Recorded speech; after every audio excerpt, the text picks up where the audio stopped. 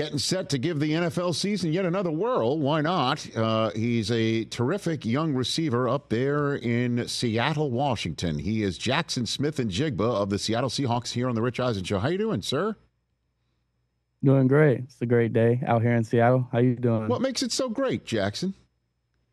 The sun's shining, weather looking good, good, nice little breeze. Okay. Gonna get a good little practice in here in a, here in a little bit. So everything's good out here. You want to do the traffic too? You're doing the weather. Should we do the traffic and weather together here Uh, no, on the Rich Eisen Show? I haven't got to that. No, I haven't got to that one yet. Okay. Yeah. the- Tyler Lockett, Tyler Lockett can do the traffic for you. Okay, well, I mean, you haven't been around Seattle enough uh, yet. Uh, Seattle folks love to tell you about the traffic because they don't want to. They don't want you moving into the area. They want to keep it for themselves. You know what I mean?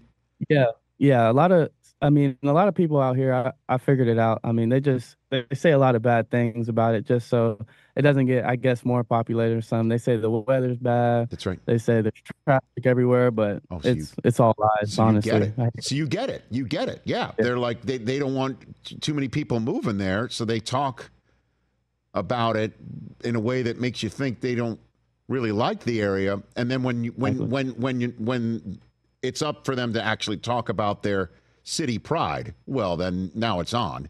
And certainly the Seahawks are at the forefront of that. So you've seen this. One thousand percent. I love it. One thousand percent. I know. I know how it goes now. Yeah, the twelfth man don't don't want any more uh, men and women in their city. But so let's let's let's talk about how things are different between last year and now this year with your new head coach Jaxon Smith-Njigba. What what's your what's your opinion on that?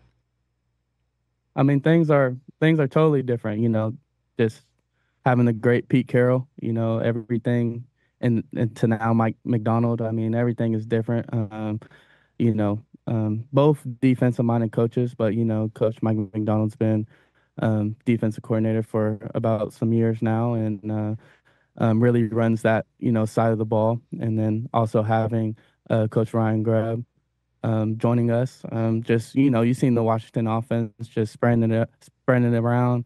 Um, you know, a lot of deep shots, and you know, just just really playing offense on offense. You know. So how I guess what will you allow or reveal that's different offensively?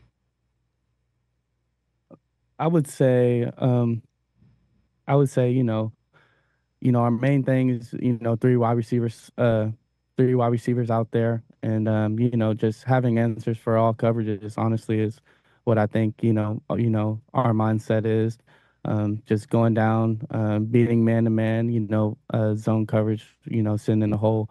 Um, nothing crazy. You know, uh, just you know, keeping football real simple and just you know having us, you know, do what we do. And how about you now coming into this season? How are you different than than last? Oh, I mean, uh, you know, had a feel like I had a you know good off season. You know, coming in bigger, faster, stronger. You know, was my main uh, focus point, and then, you know, just having a new OC. You know, I feel like, um, you know, everybody's like just starting. You know, the same uh, is on the same page, and you know, we can just grow together. You know, efficiently. You know, just about you know what we're getting taught and going out there on the field. So, you know, I feel caught up. I feel you know like I'm right next to everybody, and you know, have the chance and opportunity to make plays. Do you have do you feel the game slower for you a little bit right now? Oh yeah, for sure. most definitely. You know, first year, rookie year, getting thrown out there. You know, there's a lot. You know, you're thinking about, but now, you know, late and later on the season, I felt you know very much more comfortable, um, just slowing the game down and you know understanding coverages and understanding my role. Um, and uh, you know, coming into this year, you know, just to be able to have that and have T Lock and DK, you know, and you know my personal experience out there from last year has been great. So what what uh, so what what does as you mentioned DK and and Lockett? How did they assist you in getting you up to speed and now having things slow down for you, and so now you can really turn it on in this year?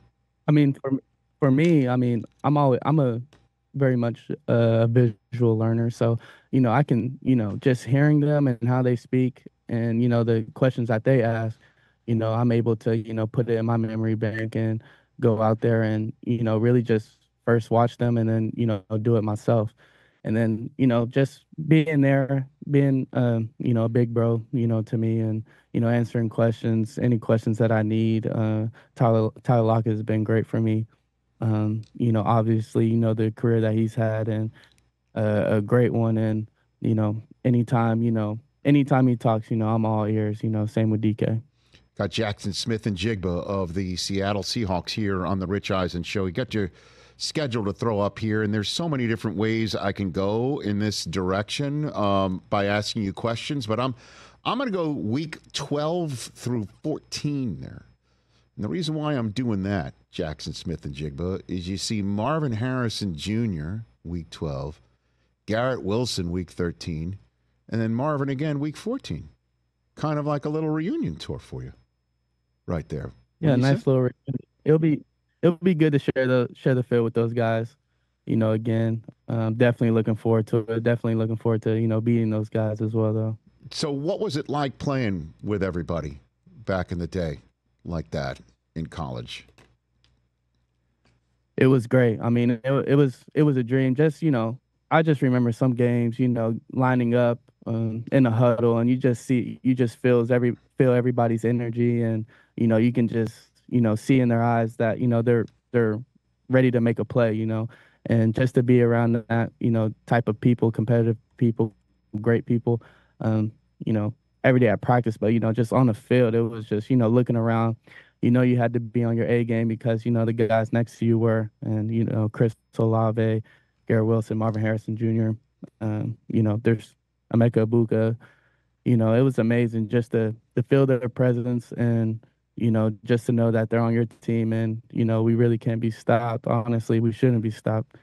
And um, yeah, I mean, it was it's it's a feeling I won't forget for sure. Well, in terms of fun, uh, Jaxon Smith-Njigba, um, you look at the the schedule there, week twelve through fourteen. There, um, that that date, Sunday, November twenty fourth, that kicks it off is the day after Michigan plays Ohio State. So how how what do you think your mood is going to be when you see those guys? What do you think? Yeah, what do you think your mood is going to be when that day hits? You know, rivalry week, rivalry week. We don't we don't take that you know very lightly. So mm. I'm pumped all week. Honestly, no, you I'm just saying those guys. It, when you see them, it'll be the day after the game is played. So you think uh-huh. you'll be happy, or you think you'll be? Oh, for sure. Yeah. Oh, I'll be I'll be very happy. I'll be, you know, why? You know, my, my stress will will have went down a little bit, you know, from after Saturday mm-hmm. because you know this is the year. Of course, what's the, the, year? What's the year? The, the year for the year for what, Jaxon? Don't do that to me. this is the year we get back on track. Man, Team Up North boys, man, you guys are something else. Well, we have been. Um, you know, last three years. What's the words for it? In a row. Um, so, mm-hmm. um, does your head coach, your current head coach, has he mentioned any of this to you at any point in time in the last few months at all? Yeah, there, has been a few conversations. I mean, he has he has the upper hand, so there, there's not much I can say rather than you know it was it was a fluke in my opinion. Fluke! In three years in a row, it's three in a row. How is that a fluke? Come on, no. Yeah, we just gotta go to the drawing boards. You see what we have. You know, we got Emeka. we got Jeremiah Smith back there, Carnell mm-hmm. Tate. You know, we supposed to get the job done. Defense, you know, defense coming on this year. Defense is ready this year. Now, but it, let, let, let, let, me let me go in this direction here um, before I let you go. Uh, C.J. Stroud had a remarkable year last year. I mean, that goes without saying, like unicorn stuff, where I, I kind of think he's he might have even messed it up for future rookie quarterbacks because I don't know how anybody's going to touch uh, what he did last year. What was that from your perspective while you were going through your year last year to see what he was doing, Jaxon? honestly, you know, I was just just happy for him. Um, just you know, just I know he's an elite quarterback and you know what he can do, but when you go out there and show it, I mean, you know, we we usually you know playing on Sundays and you know just hearing about it and hearing what he you know has done that week and for him to get to the playoffs, I mean, you know, he's destined for greatness. So, you know, um, you know, I'm just super happy for him.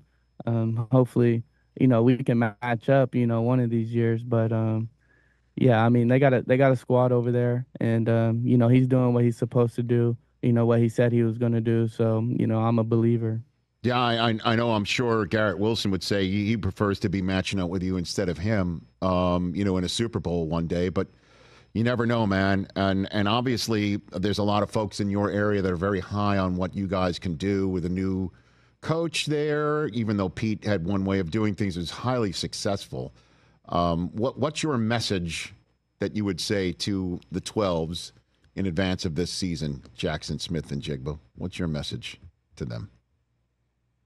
My message to them is, you know, the locker room, you know, the buzz around the facility is, you know, we're excited to get it going. We're excited, you know, to jump into this new era, new era, and um, you know, I feel like, you know, the word around, you know, the locker room is, you know, we're excited. We're ready. We're ready to go. You know, put our uh, first foot forward, and um, you know, start this thing off the right way. You know, we're we're behind Coach uh, Macdonald and you know all of our coaches. We're excited. We feel like we have everything we need to get the job done and to uh, reach the goals that we're going for. So you know, we're gonna we're going to turn the 12s up for sure this year. Well, I, again, I appreciate always when you come on this program, not only because I'm I'm so keenly interested in seeing what's going on in your career, but you also know what's coming for me. Um, and you know, and I, I, I appreciate you still saying yes when I say please come on the program. yeah, I appreciate you, Rich. I, Always. Right back at you, Jaxon Smith-Njigba getting set to dominate for the Seattle Seahawks right here on the Rich Eisen Show. Catch the Rich Eisen Show every single day on the Roku channel, 12 to 3 Eastern, for free.